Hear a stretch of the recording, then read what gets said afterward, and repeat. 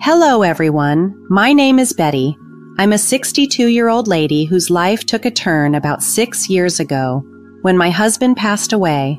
Despite this, I've continued to work and find joy in my large family, consisting of four children. Three of my kids have moved to various parts of the country, starting families of their own, leaving just my son Steven in our hometown. Steven met his wife Jessica during his time at the local community college. I've always liked Jessica and believed that as long as Steven was content, that was what truly mattered. Their union was swift, followed by further academic pursuits and eventually successful careers.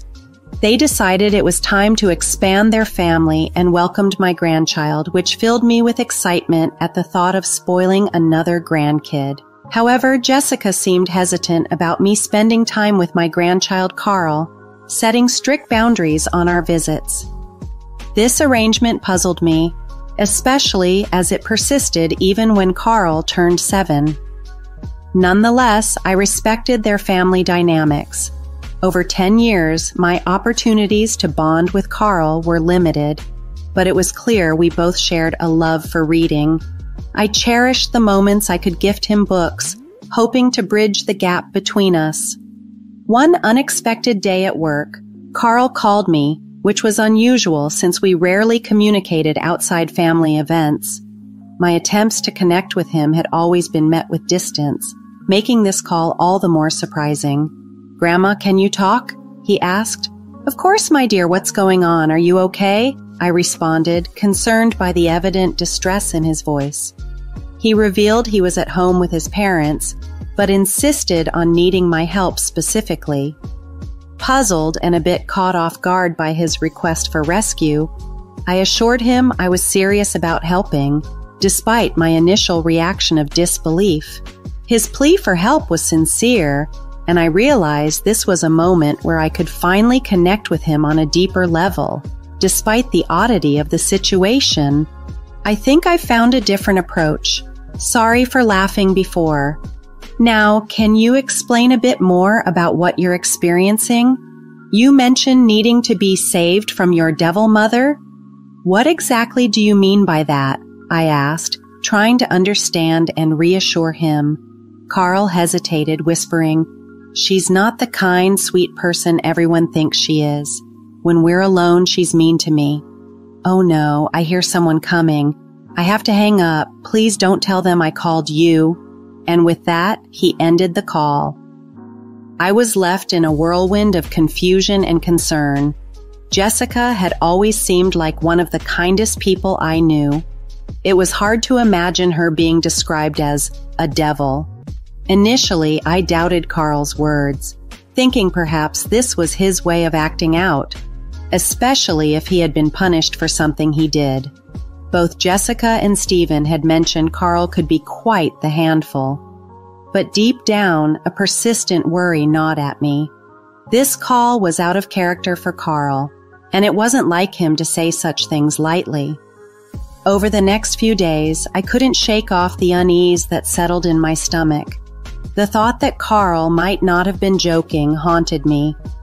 In a move that felt both necessary and invasive, I decided to purchase a hidden camera. The decision weighed heavily on me. Spying on my son and his family was not something I took lightly. However, Carl's plea for help couldn't be ignored. I reasoned that if there was nothing amiss, I could simply remove the camera and forget the whole thing. But if there was truth to his words, I needed to know so I could help. Once the camera arrived, I installed it discreetly. This model allowed me to view live and recorded footage through an app on my phone, which was incredibly convenient. With the camera in place and the setup complete, I felt a mix of anticipation and dread. It was then I decided to reach out to my son Hello, sweetheart. How is everything? Everything's great, Mom. How about you? Steven's voice was casual, unaware of my tumultuous thoughts. Oh, you know, the usual, but I've been thinking. It's been quite some time since we last saw each other, I ventured, hoping to visit and perhaps see for myself how things were at home. This indirect approach, spurred by a sudden and alarming call from my grandson, led me down a path I never expected to take.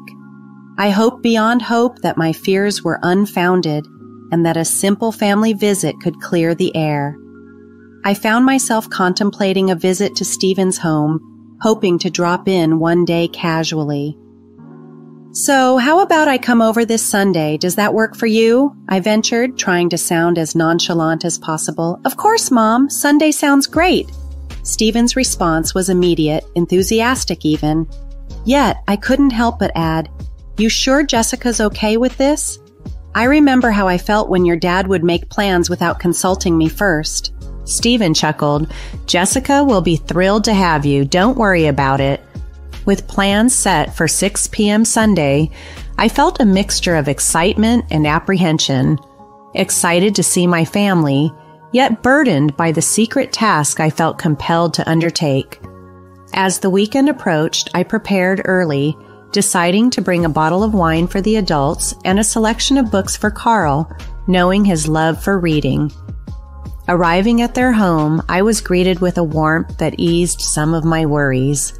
However, noticing Carl's look of relief stirred my concerns once more. Since our phone call, there had been silence, leaving me uncertain about his feelings. The evening was filled with conversation, laughter, and a shared meal.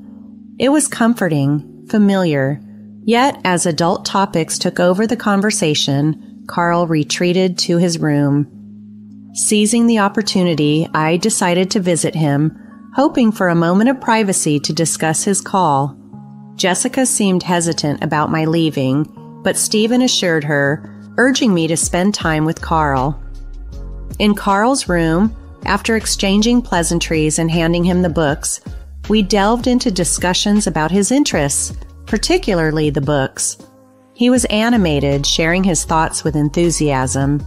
I refrained from bringing up the distressing phone call, wanting to let him lead the conversation to that topic if he felt comfortable.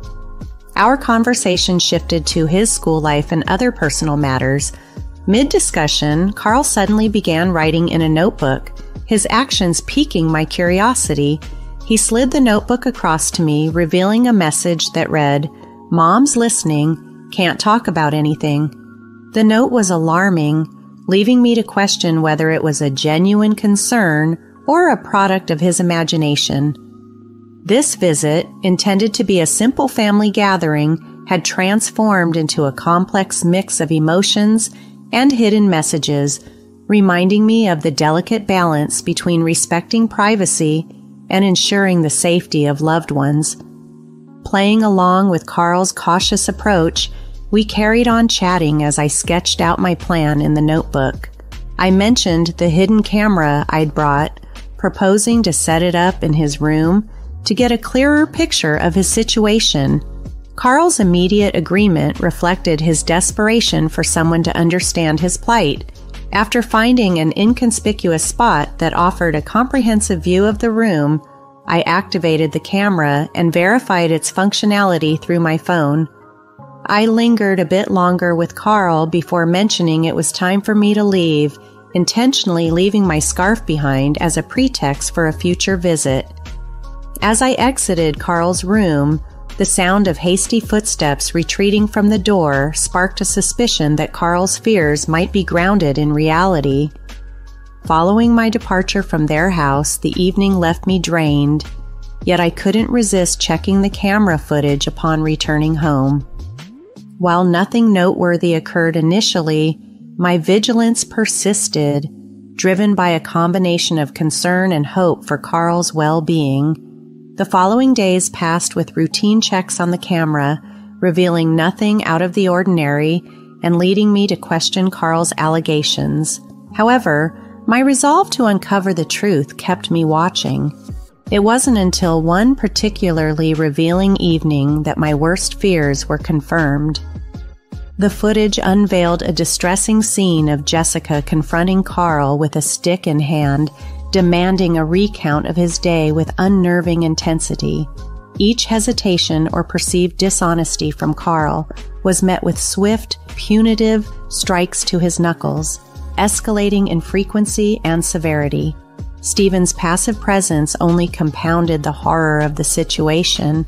Witnessing such a stark contrast to the nurturing environment I had endeavored to provide, my children left me heartbroken and appalled. The realization that my grandson was enduring such treatment under his roof was a bitter pill to swallow, compelling me to confront this harrowing reality and take decisive action to protect Carl. Believing firmly that children understand more than we often give them credit for, I was dismayed by the scene unfolding before me through the camera's lens. It baffled me how Steven could stand by passively while his son was subjected to such harsh treatment for what seemed to be minor missteps. The urge to intervene was overwhelming, yet I hesitated, knowing that my sudden reappearance would raise suspicions.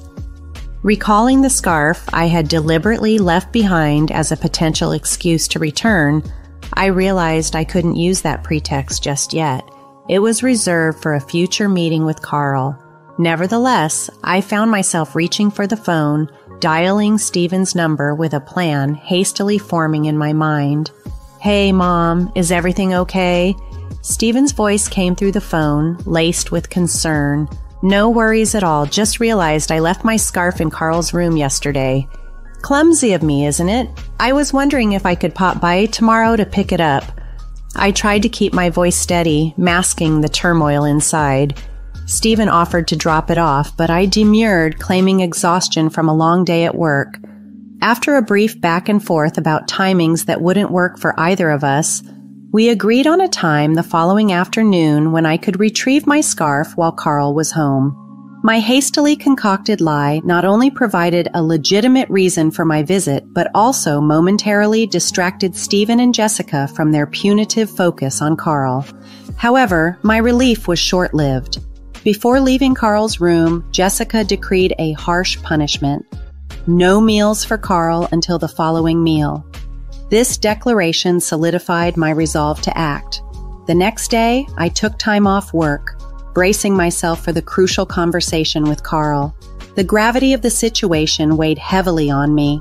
Knowing that Carl's well-being and future hung in the balance, my heart was set on offering him an escape from the distressing environment at home, prepared to do whatever it took to ensure his safety and happiness. Before heading to Steven's home, I made sure to grab some food, anticipating that Carl would be in dire need of a meal. My heart sank when I saw him. He was visibly weakened, barely able to keep his eyes open. Jessica's harsh punishment had taken its toll.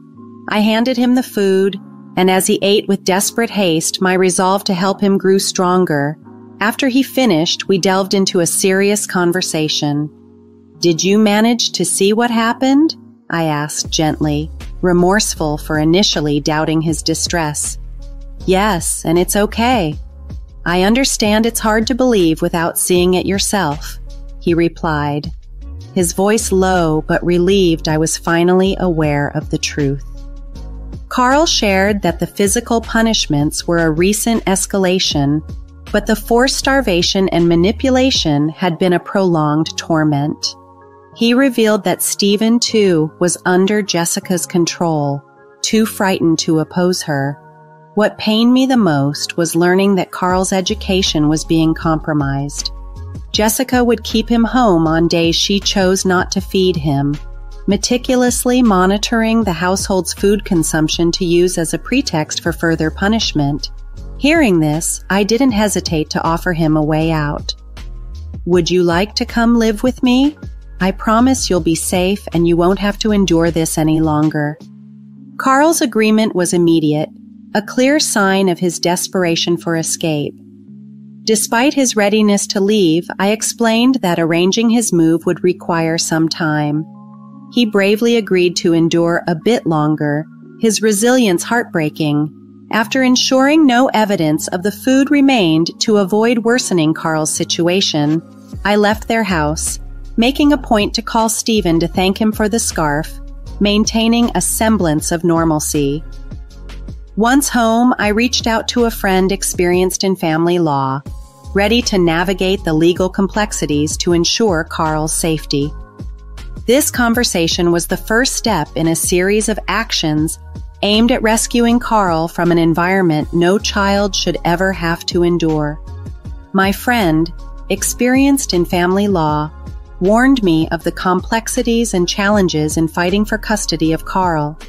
He outlined that even if I were successful, the custody might only be temporary, allowing Jessica to amend her behavior and reclaim her rights. Given the slim evidence I possessed, a direct legal battle seemed unfeasible. However, an alternative strategy emerged in my mind, leveraging the evidence to negotiate for legal guardianship. Understanding Jessica's position as an advisor and the potential impact of her actions on her career, I saw a leverage point. Over the following days, I meticulously compiled the evidence and prepared the necessary paperwork for transferring guardianship. Choosing an unexpected moment, I visited Steven and Jessica's home over the weekend, hoping the element of surprise would work in my favor. Steven's astonishment at my unannounced visit was evident. His hesitance and the tension in his response hinted at underlying issues. Despite his reluctance, I pressed on, insisting on discussing an urgent matter. Steven's defensiveness peaked when I questioned the odd timing of my visits, but my resolve to address a pressing concern was unwavering. The sound of distress from Carl's room acted as a catalyst, propelling me past Steven and directly towards the source of the commotion. Upon entering Carl's room, the scene before me confirmed my worst fears. Carl, in tears, sought comfort in my embrace, while Jessica's hostile departure underscored the severity of the situation. At that moment, my determination to protect Carl solidified, fueled by the tangible evidence of his distress and the urgent need to provide him with a safe and nurturing environment. Observing Carl's injuries, a swelling cheek, bleeding knuckles, and welts on his arms caused by the stick, ignited an unparalleled fury within me. No child should ever endure such brutality.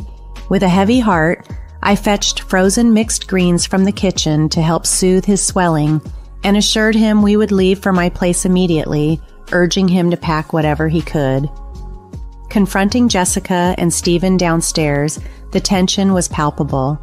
Jessica's anger contrasted sharply with Steven's evident discomfort. Jessica's indignation at my intervention sparked a fierce exchange.